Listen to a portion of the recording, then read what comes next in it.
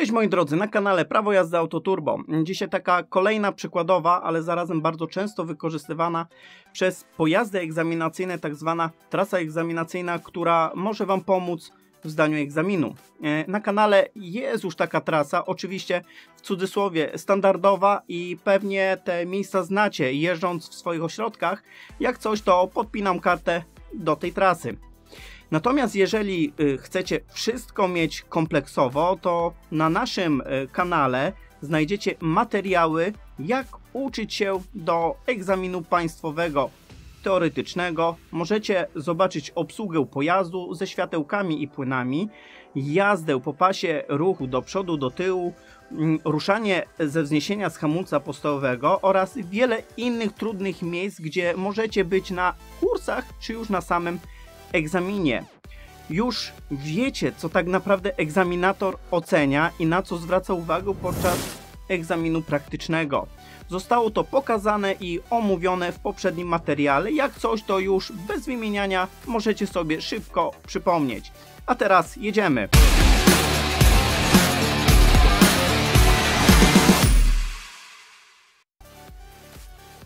Włączamy się do ruchu z bramy WORD.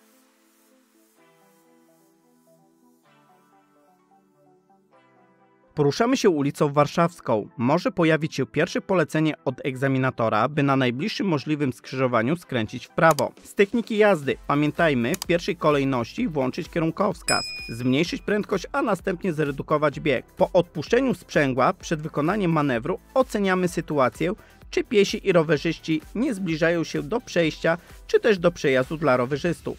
Po wykonaniu manewru stosujemy się do ograniczenia prędkości.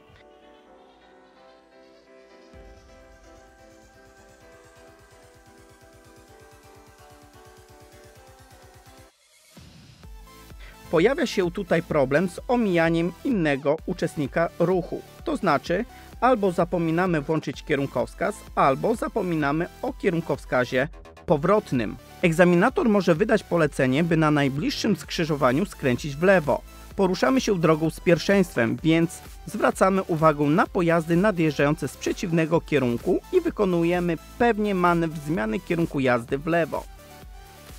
Po wykonaniu manewru egzaminator wyda polecenie o wykonaniu zawracania z wykorzystaniem infrastruktury drogowej, np. bramy przy użyciu biegu wstecznego.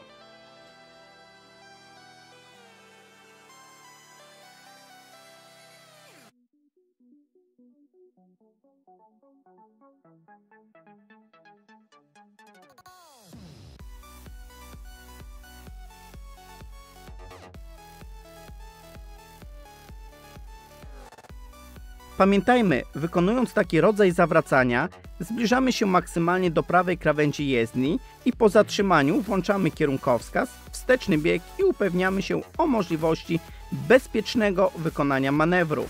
Zawracając, wspomagajmy się tylną szybą i bocznymi lusterkami. Po zawróceniu polecenie może pojawić się od egzaminatora, by na najbliższym skrzyżowaniu skręcić w lewo. Tutaj uważajcie, znak stop, czyli zakaz wjazdu na skrzyżowanie bez bezwzględnego zatrzymania. Często pojawiają się w tym miejscu błędy, że zatrzymujemy się przed albo na równo ze znakiem. Jest to bardzo rażący błąd. Po wykonaniu manewru poruszamy się nadal z prędkością 20 km na godzinę.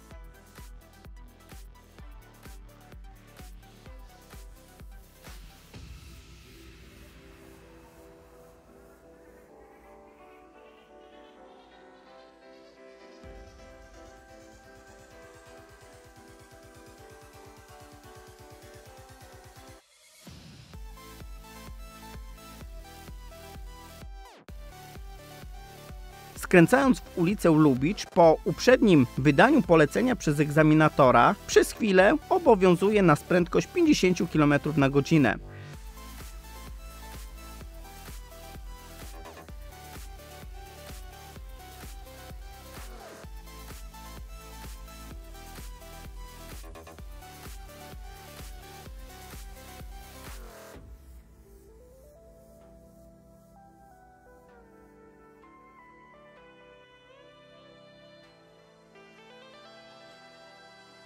Polecenie, jakie teraz możemy usłyszeć, to by na najbliższym skrzyżowaniu skręcić w prawo. Jeżeli w tym miejscu nie jesteście pewni oceny sytuacji, możemy się zatrzymać i na spokojnie ustalić moment ruszania.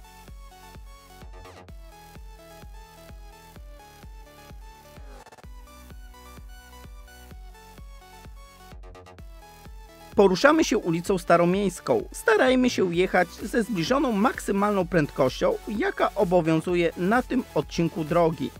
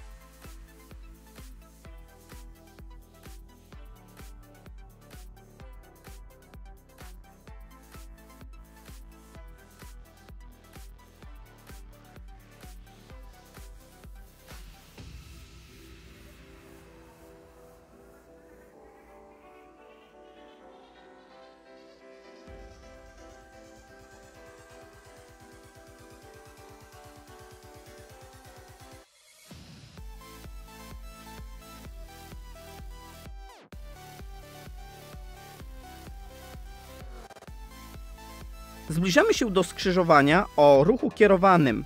Możecie usłyszeć polecenie, by na skrzyżowaniu z sygnalizacją świetlną skręcić w lewo. Zwróćmy uwagę na sygnalizację. Sygnalizator S3, tak zwana kierunkowa sygnalizacja kochana przez Was. Dlaczego? Ponieważ wykonujemy sprawnie manewr, wiedząc i widząc, że ruch z przeciwnego kierunku i przejścia dla pieszych są zamknięte.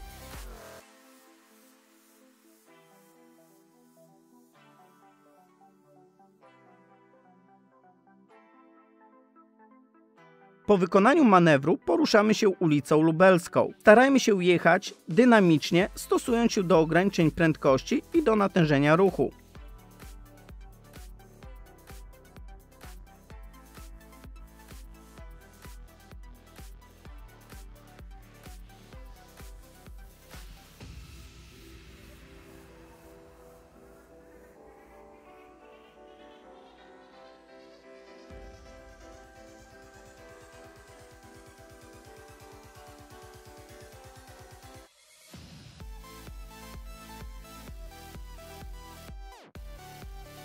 Zbliżamy się do skrzyżowania o ruchu okrężnym. Egzaminator może wydać polecenie, by na skrzyżowaniu skręcić w prawo. Pamiętajmy, dojeżdżamy do skrzyżowania, będąc na drodze już podporządkowanej, więc musimy ustąpić pierwszeństwa wszystkim uczestnikom ruchu nadjeżdżającym z lewej strony. Nie zapomnijcie przed wjazdem na skrzyżowanie włączyć zawczasu i wyraźnie kierunkowskazu. Po zjechaniu ze skrzyżowania poruszamy się ulicą Rzecha. Tutaj obowiązuje ograniczenie prędkości do 70 km na godzinę, a więc starajmy się wykorzystać tą prędkość.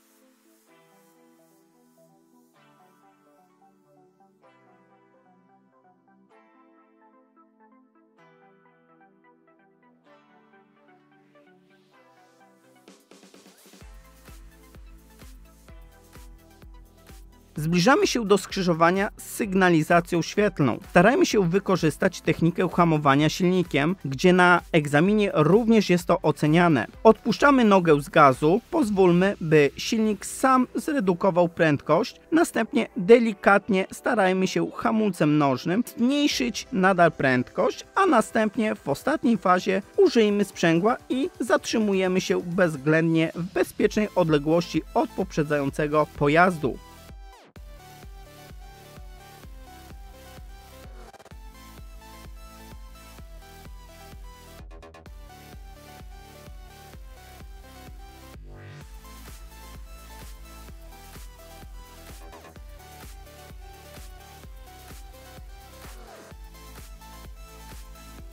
Po przyjechaniu skrzyżowania zwracajmy uwagę na częste zmiany ograniczeń prędkości. Zbliżając się do przejazdu kolejowego, pamiętajcie o zachowaniu szczególnej ostrożności, ocenie wzrokowej i słuchowej i dostosowaniu prędkości i biegu. Po przejechaniu przejazdu egzaminator może podać polecenie, by na najbliższym skrzyżowaniu z sygnalizacją świetlną skręcić w prawo.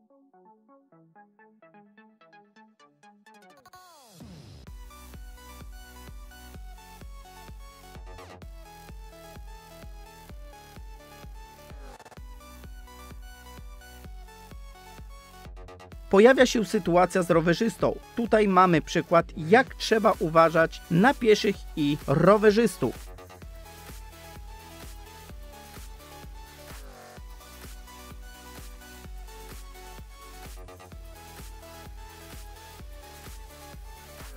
Zbliżamy się do skrzyżowania z rzeczywistym przebiegiem drogi z pierwszeństwem, z tak zwanym pierwszeństwem łamanym. Musimy się przygotować na polecenie, by kontynuować jazdę cały czas drogą z pierwszeństwem. Nie będę wspominał o kierunkowskazie, bo to oczywiste jest, że bezwzględnie go włączamy.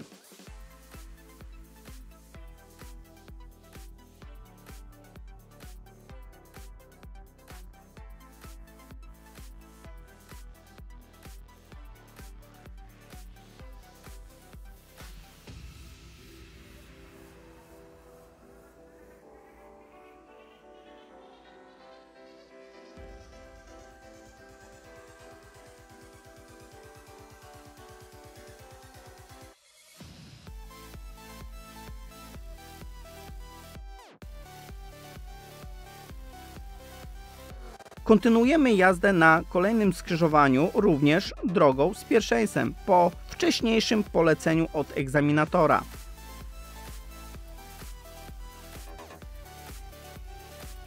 Po pokonaniu skrzyżowania z. Tak pierwszeństwem łamanym, egzaminator poda polecenie, by na najbliższym skrzyżowaniu skręcić w prawo. Starajmy się wytracić prędkość z jednoczesną redukcją biegu odpowiedniego do prędkości. Bardzo ostry zakręt i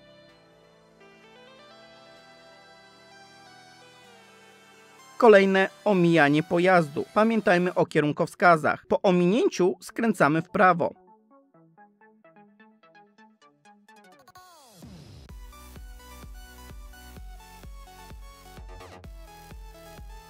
Dojeżdżamy do znaku stop. Już wiemy, jak mamy się zachować w tej sytuacji po zatrzymaniu jedziemy prosto przez skrzyżowanie. Nie zapomnijmy ocenić bardzo dokładnie prawą stronę drogi. Jest ograniczona widoczność.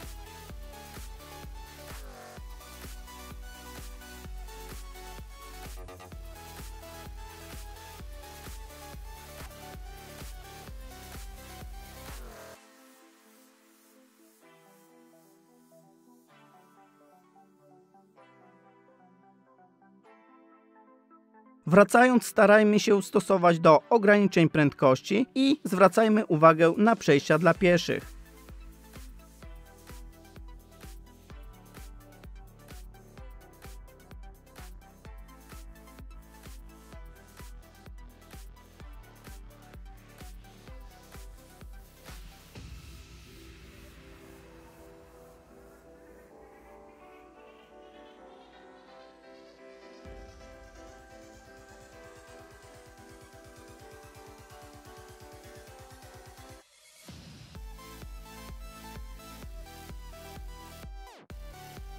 Wracamy, więc polecenie od egzaminatora powtórzy się, by kontynuować jazdę drogą z pierwszeństwem.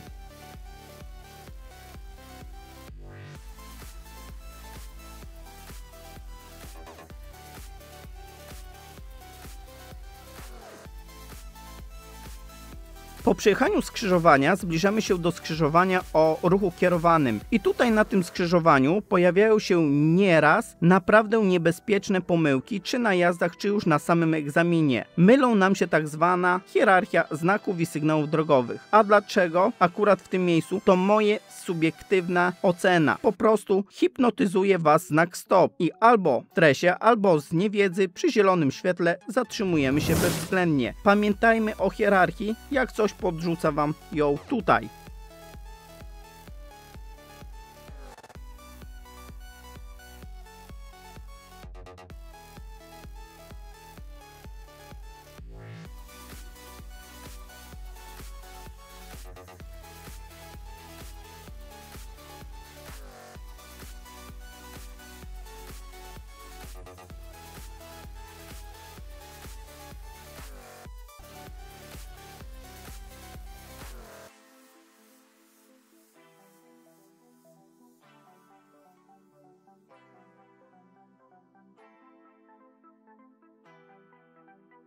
Wykonując na tym skrzyżowaniu manewr zmiany kierunku jazdy w lewo, pamiętajmy o ustąpieniu pierwszeństwa pojazdom z przeciwnego kierunku, jadącym prosto, jak również skręcającym w prawo. Pamiętajmy, jest to skrzyżowanie tak zwane kolizyjne z sygnalizacją S1.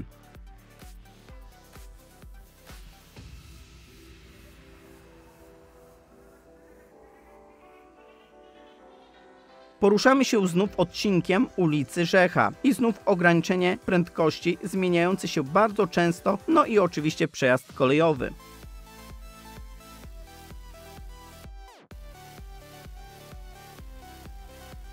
Egzaminator po chwili poda polecenie, by na skrzyżowaniu z sygnalizacją świetlną skręcić w lewo. Musimy wykonać manewr zmiany pasa ruchu. Oceniamy najpierw w lusterkach sytuację na pasie sąsiednim, włączamy kierunkowskaz i wykonujemy manewr zmiany pasa ruchu z jednoczesnym przyspieszeniem. Zbliżamy się do skrzyżowania z sygnalizacją świetlną, która jest już Wam doskonale znana i wiecie jak właściwie mamy się zachować.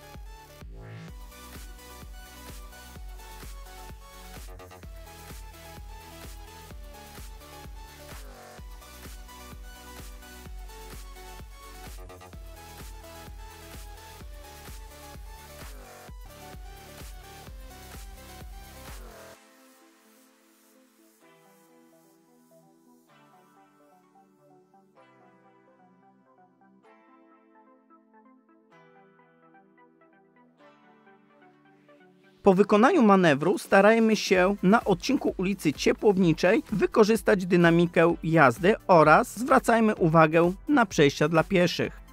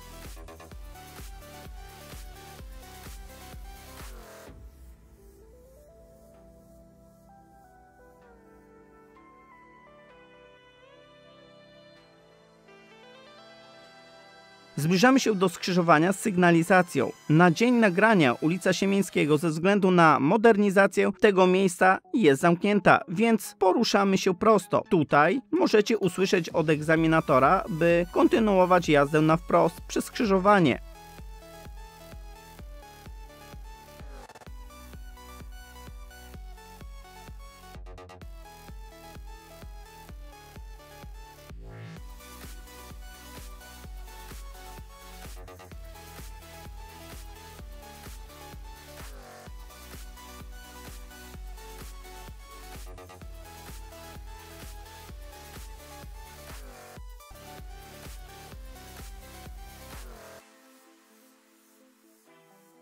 Poruszamy się ulicą generała Maczka. Egzaminator może Was poprosić, byśmy skręcili na najbliższym skrzyżowaniu w lewo. Oczywiście, wykonując manewr, ustępujemy pierwszeństwa pojazdom nadjeżdżającym z przeciwnego kierunku.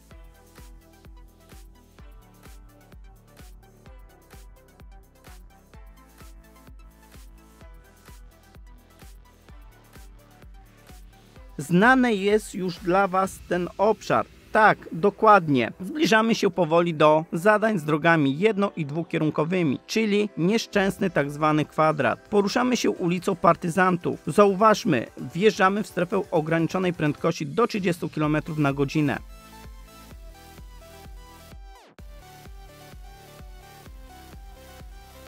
Po chwili egzaminator poda polecenie, by na najbliższym skrzyżowaniu skręcić w lewo.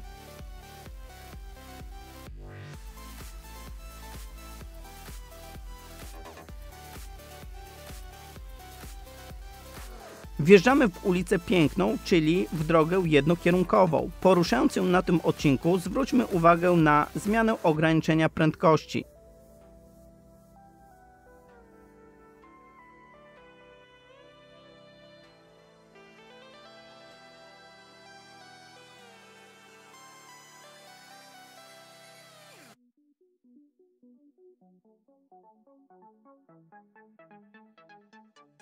Za progiem zwalniającym polecenie będzie, by na najbliższym skrzyżowaniu skręcić w lewo, a więc dojeżdżamy maksymalnie do lewej krawędzi jezdni. Jeżeli nie jesteście pewni dobrej widoczności, lepiej zatrzymajmy się. Po wykonaniu manewru znajdujemy się na ulicy Husarskiej, czyli ulicy dwukierunkowej. Z tej drogi będziemy skręcać w lewo, czyli ustawiamy się do osi jezdni i wykonujemy manewr. Pamiętajmy jednocześnie, by ustąpić pierwszeństwa innym uczestnikom ruchu nad nadjeżdżającym z prawej strony. Jest to skrzyżowanie równorzędne. Po raz kolejny odcinek drogi jednokierunkowej, ulicy Jasnej.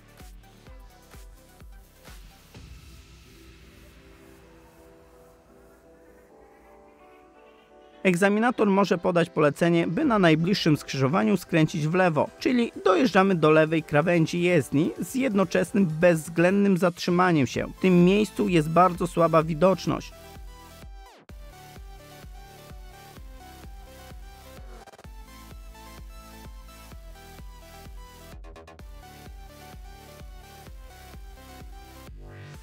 Uważajcie na linię podwójną ciągłą, wykonując manewr. Po wykonaniu tego manewru poruszamy się nadal w strefie ograniczonej prędkości do 30 km na godzinę.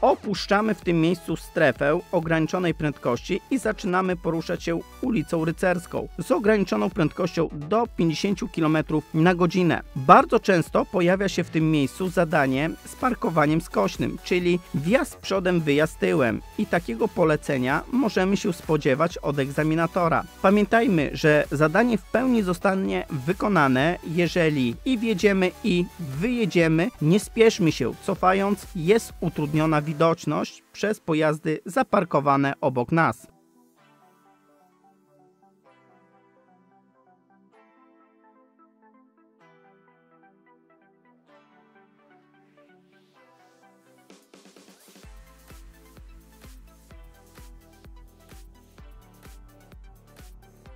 Po wykonaniu parkowania zbliżamy się do skrzyżowania o ruchu okrężnym.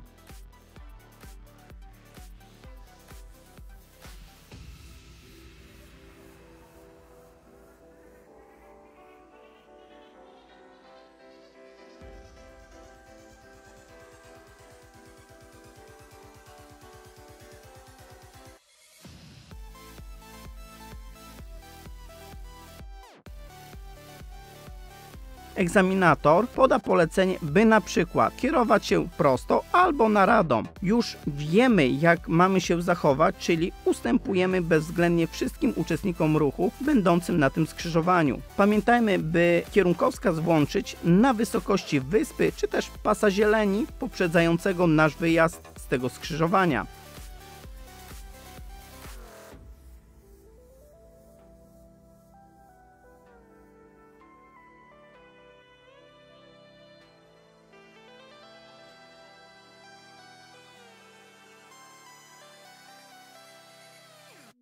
Ostatnia prosta do upragnionego prawka. Koncentracja nadal i zwracajcie uwagę na przejścia dla pieszych.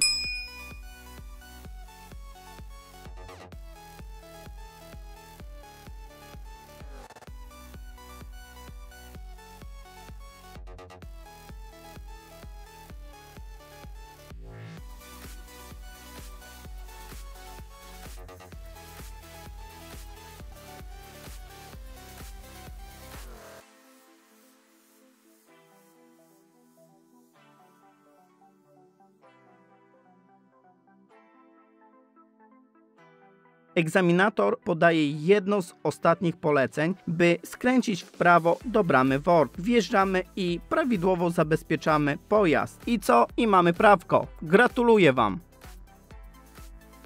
Chciałbym zaznaczyć i dopowiedzieć, że w materiale nie zostało wykonane zadanie zatrzymanie we wskazanym miejscu. Jak coś, to odsyłam do poprzedniego materiału z trasą egzaminacyjną.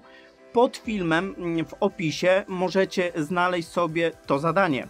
Natomiast jeżeli odcinek się podobał i uważacie, że będzie dla Was przydatny, to po raz kolejny zostawcie łapkę w górę i udostępniajcie ten materiał i inne wśród swoich znajomych.